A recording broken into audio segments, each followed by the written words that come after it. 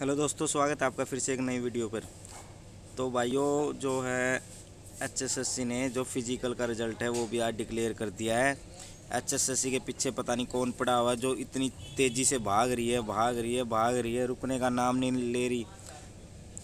Physical का time भी नहीं दे दिया इसने बच्चों को मतलब क्या पता इसके क्या हो रहा है। एस एस सी इतने जल्दी में क्यों लगी है? कोई चेयरमैन से ये पूछे जाके।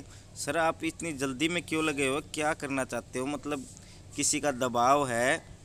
या खुद से आप इतनी जल्दी में भर्ती पूरी कराना चाहते हो? या इसमें कुछ गड़बड़ी है? या तो आप कुछ छुपा रहे हो? तो भाई, इन्होंने रिज़ल्ट निकाल दिया पीएचडी का। और जो आप देख सकते हो, इक्कीस सौ जो हैं, जिन्होंने क्लियर किया है।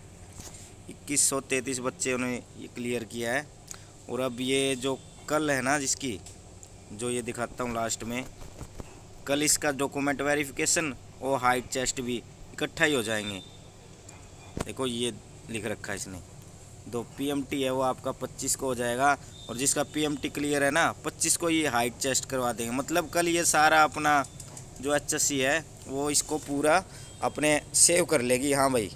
ये हमारे पास इसका सारा क्लियर करके रिज़ल्ट जो है अपने जेब में रख लेगी और ये रिज़ल्ट किसी टाइम भी जारी कर सकती है। और जो कल का दिन है ना, इस जो वैकेंसी पर ऐसा ही कल का दिन बहुत इम्पोर्टेंट रहने वाला है। कल कोर्ट भी खुल जाएँगे, कल का दिन बहुत इम्पोर्टेंट है।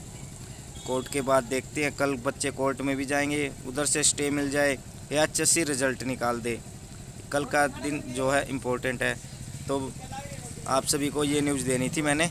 तो आप चैनल पर नए हो तो चैनल को एक बार सब्सक्राइब कर लेना। आगे भी आपके लिए ऐसी वीडियो लेके आता रहूँगा। Thank you